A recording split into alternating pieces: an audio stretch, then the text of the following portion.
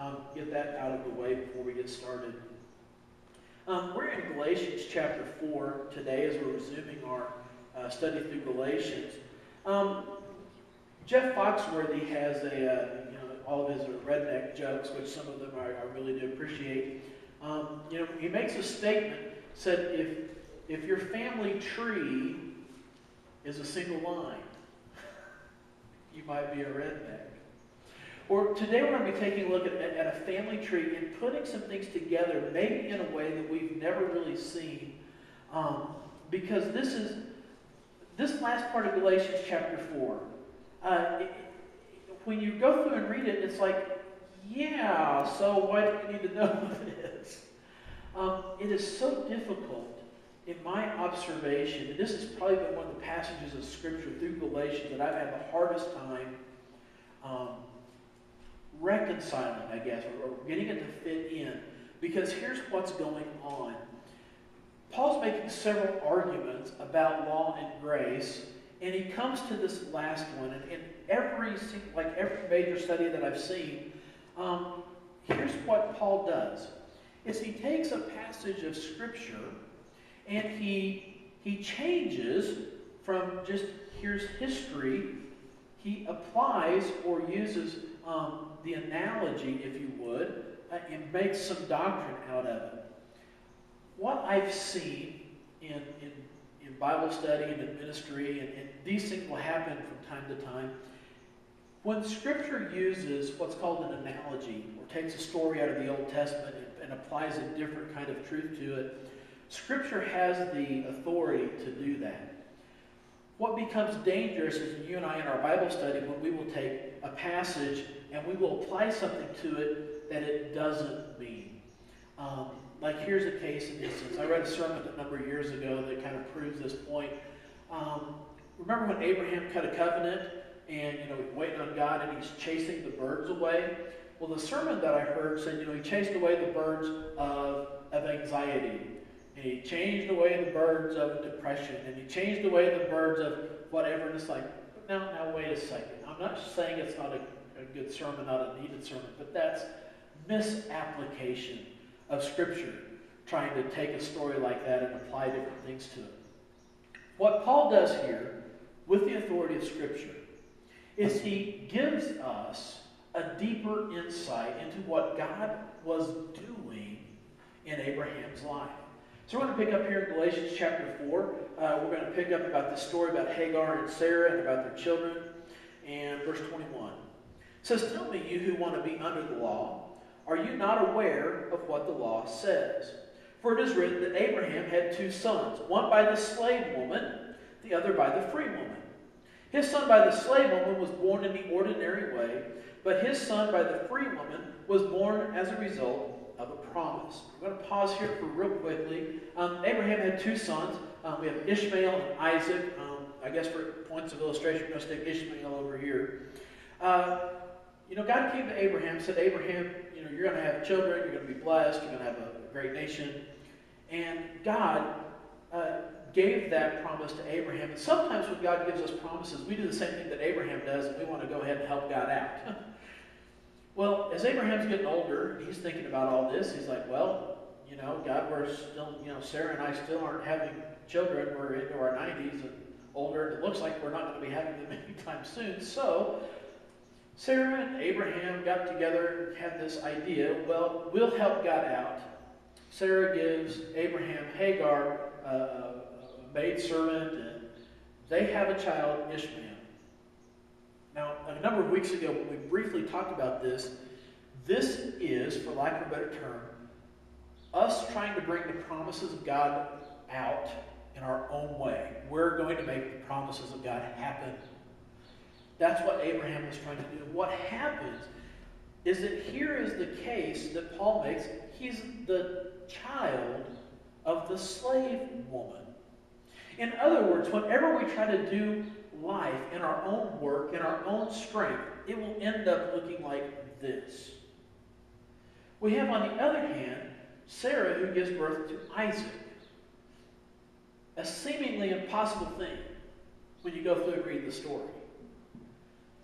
You know, here, here's Uh, Sarah, she overhears, all right, I'm going to have a child that she laughs.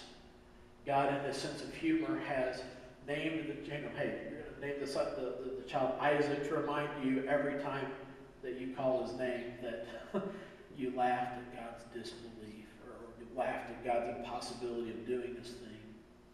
And so we have a child of work, we have a child of the promise, we have Isaac. It's interesting to me that not only when you figure in what Isaac's name means, that there is something about laughter, there is something about joy when we trust God to do his thing in his time.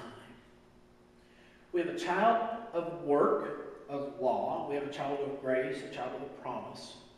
Um, we have a slave. We have a free child. Two different sons, two different promises, and an understanding that they are different as Paul brings the story into Galatians and takes a look at it. Now, here's where he starts taking the story uh, from the Old Testament and, and applying some things differently. He says these things may be taken figuratively. For the women, for the, for the women represent two covenants. One covenant is from Mount Sinai and bears children who are to be slaves. This is Hagar. Now, Hagar stands for Mount Sinai in Arabia. Get this, this is strange, and corresponds to the present city of Jerusalem because she is in slavery with her children. So we have Hagar, the slave. We also have a, I'm going to call it Jerusalem below. Okay? Here's the physical Jerusalem. It's a, it's a, it's a city of slavery, a child of slavery, and there's something about this that Paul starts weaving in to understand here's how things work. It's all has to do with slavery over here.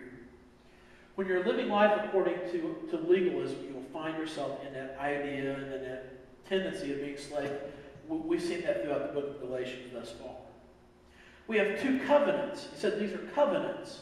So we have one with the Jerusalem below, and we have another one here of the Jerusalem above. Continue on with me in the next verse, if you would. Uh, but the Jerusalem that is above, verse 26, is free, and she is our mother. When you get to this next verse, verse 27, this is a quote out of Isaiah 54.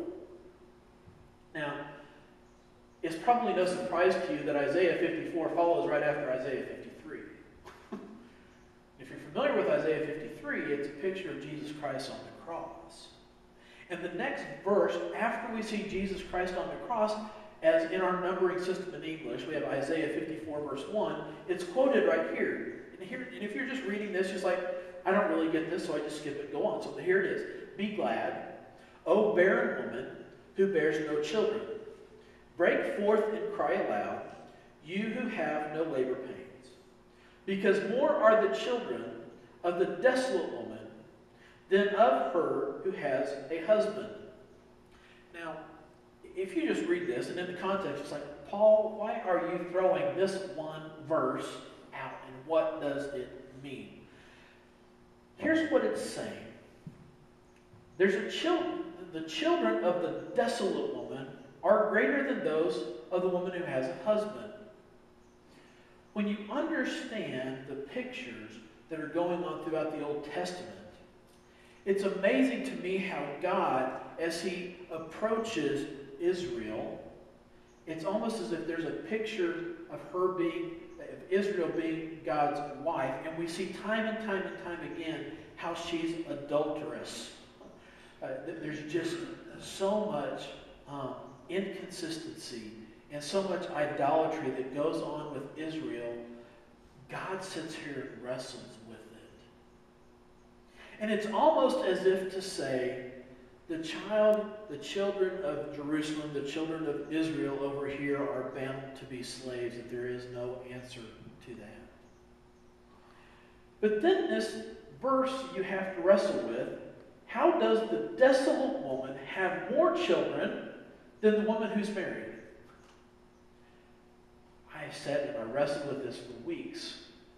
And here's the best way that I can explain it it is because the children of the desolate woman are not by works, they are not just out of obligation of marriage. They are not out of an agreement. They are not out of this, but they are out of a promise and that they are out of faith. And it's almost as if to say that more are the children of faith, more are the children of promise than those who are of the old way of doing things. Now, when you put this together, we, we find ourselves, and I just need to have you hold that thought for just a few moments, because I'm going to start giving you some information, and at the end, start putting it all together. So we have this idea there's the children of, of faith from this other covenant, um, from, from Isaiah 54. Uh, let's continue on back in Galatians chapter 4, verse 28. Um, he says, Now you, brothers, talking about Christians, um, are like Isaac, you are children of the promise. At that same time, the son born in the ordinary way, over here Ishmael, persecuted the son by the power of the Spirit. It is the same now. But what does Scripture say? Get rid of the slave woman and her son, for the slave woman's son will never share in the inheritance with the free woman's son. Therefore, brothers, we are not children of the slave woman, but we are children of the free woman. And when you understand where Paul ends up, children of the free woman, the free woman is also the desolate woman. So we are children over here on this side of grace as opposed to the law. So that's how the whole Galatians chapter 4 talks about. We have two sons, we have two covenants, we have this Old Testament prophecy. Uh, we have these things that were put together. And now I'm going to take you on a little bit of a journey to help us understand how do we get the inheritance of the free woman. Has anybody here ever dealt with genealogies? Ever? I'm not sure if you have, but I, I, I saw just a bit of my uncle's work. My uncle, um, who was at the time teaching out of Arizona State, um, decided, I want to go through and see what our family tree is like. I think he was just trying to prove that the whole uh, stick thing wasn't working. you know? So he goes through, um, gets as much information from relatives that are still living, and he starts tracking them down. Um, it was interesting to find out that as he did all of his tracking, uh, that there were two groups of Watsons, and you know one of them came through Oklahoma, another one came down through uh, the Missouri area. Uh, he tracked uh, he tracked both of those chains then um, up through Illinois, Indiana, Pennsylvania. Um, a weird thing is that somehow President Garfield got involved in one of the branches there for a little bit. Uh, and he's basically been able to track our family name almost, you know, until we got off the boat there from Ireland. So it was kind of interesting to see all that work that goes on. Well, if you can imagine how difficult it is to think about genealogies and put this stuff together, I'm trying to take something that's very hodgepodge out of Scripture and let us get a picture into what's going. Because we have to understand how do we get the inheritance. Um, I think I will start us off in Numbers chapter 36. In Numbers chapter 36, at the end of the book, there's this little bitty chapter there, verse chapter 36. It really doesn't have a whole lot of information, but except for verses 5 through 10 or so, uh, basically here's the story. Uh, a man by the name of Zelophehad had some daughters. He never had any sons. And it was, you know, the, the, the girls here were kind of concerned that, well, when dad dies, there's no man to take over the family inheritance. So what do we do? Um, because if we marry into another tribe, then another tribe gets the inheritance, and it just kind of becomes a whole big mess. And so Abraham, or excuse me, Moses prayed, talks to God about it, and they said, okay, here's what you're going to do. You're going to make an exception. And in Numbers chapter 36, we read about this exception that a woman who doesn't have any male brothers um, can marry inside the tribe, and the inheritance stays within the tribe. Okay? Briefly, as I can describe it, that's what happens. So we have the, the whole idea of what's happening here with Zelophehad's daughters. from there, I want to go to the, the, the birth line of Jesus Christ. And for this, if you understand, have you ever read Matthew chapter 1? It's like, holy cow, there's a whole bunch of names there, and I really don't get it. Here's what's going on in Matthew chapter 1. In Matthew chapter 1, we have the, the line of David, and we David's sons, and they're line one after one after one after another, until we come to this fellow by the name of um, Jeconiah. Jeconiah, as he's called there in, in book of Matthew, also had another name in the Old Testament, which is um, Jehoiachin. Yeah, Jehoiachin. And in Jeremiah chapter 22, verses 28 through 30, Jehoiachin was a very bad king. He was evil. God pretty much said, you know, I would take you off like a signet ring and never put you back on. And in verse 30 of Jeremiah, God puts this curse, if you would, on, on uh, Jeconiah or Jehoiachin and says, you know what? Never will any of your sons ever be on the throne of David. You will, it will not be there. Well, from the book of Matthew, we understand that when you track Jesus' lineage, we have a blood curse that is on this line. And this is where Joseph ends up. Joseph ends up in this line from Jeconiah as the deposed kings of Israel. And, you know, here's Joseph. Okay. One thing that we have to understand is that there's a blood curse, so Joseph's children will never sit on the throne of Israel because of that curse that was back there in Jeremiah. So it leaves God with some things to sort out. What happens is that because of the promise made to Zelophehad's daughters, we have Mary, who it looks like doesn't have any male siblings. We see in verse 23 of Luke chapter 3, it says, Now Jesus, as it was supposed, was the son of Joseph, the son of Heli. Well, just to make things worse, guess what? Joseph's father, that we have listed in Matthew's name, is not Heli. So what happened? How do we start putting this together? The best scholarship that I've read says that Heli adopted Joseph to be his son so that he would have the inheritance of, of, of his daughter, Mary, so when you have Jesus being born of a virgin birth, here's what happens. Jesus is now no longer cursed by the blood curse that was put on Jeconiah's line. Um, he also has been assured the inheritance. Through his father Joseph, he has a legal claim to the cross. Through his mother Mary, he keeps the inheritance that was promised to David. When you understand what Jesus did, and then by Jesus obviously not having physical children, guess what? The line stops there.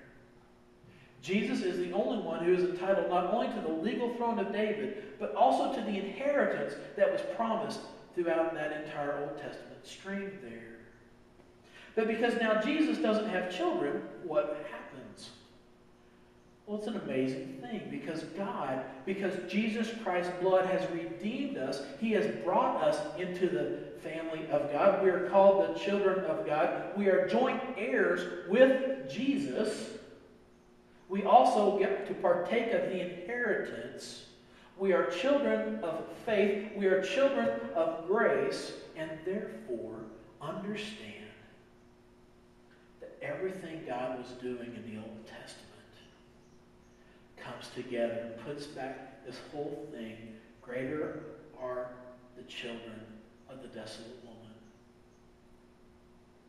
Now, when we put all this together, that leaves you and I in an interesting, interesting place. Because Jesus Christ's blood has redeemed us, as those being underneath the law, we were over.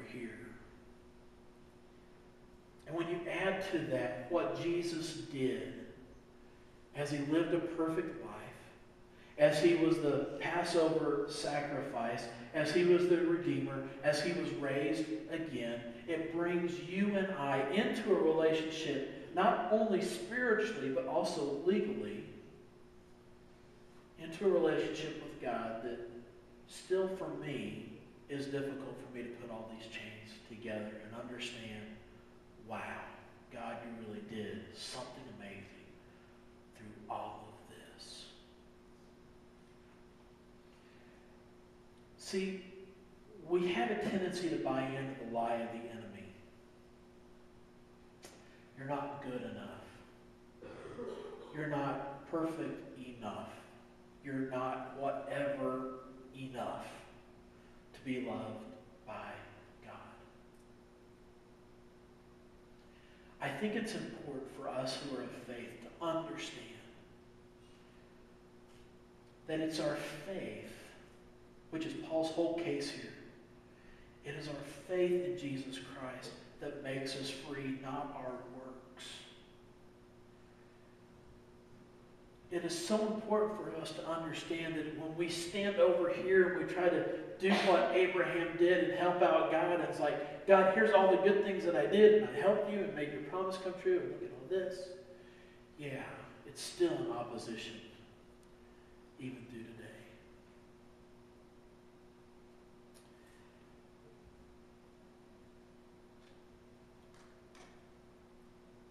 We live in a time where the children of Abraham, both sides, are fighting like never before.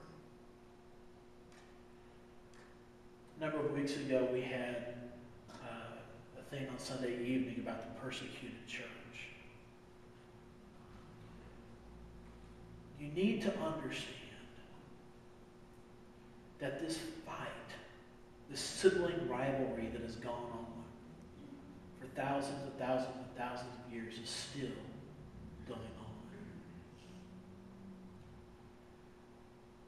Two ideologies trying to get to God. One of them says, I will get to God by doing the things that God wants. I will kill infidels. I will be a person of hate, not a person of peace. I will do it by force. The other side does it by grace, does it by freedom. If you don't really want to put your eyes to the problem, here it is. This world over here today in 2012 wants to make the world slaves. You need to understand that. We have a world over here that's so desperately trying to be free, and yet we don't appreciate the freedom that we have. I'm not sure where you are today. I'm not sure where your faith is. My encouragement to you today is this, though.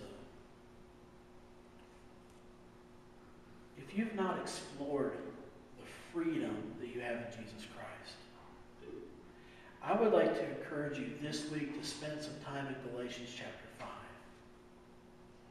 Because next week, when we take a look at the freedom that we have in Christ, it may surprise you.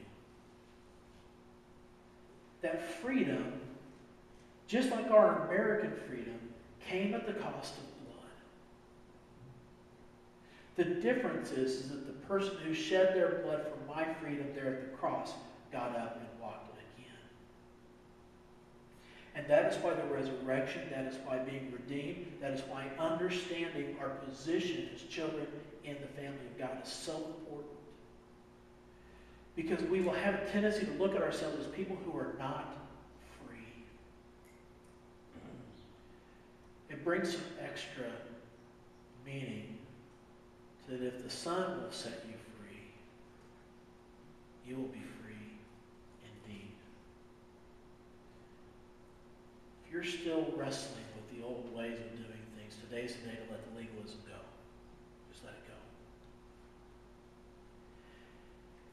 if you're too worried about what you're free to do in Jesus Christ, start digging in Scripture. See what you're free to do. Understand what God did throughout all of the Old Testament, through what happened there at the cross, through what Jesus Christ really did to bring you into a relationship with, with God that is not just a subservient relationship, but a child. Would you please pray?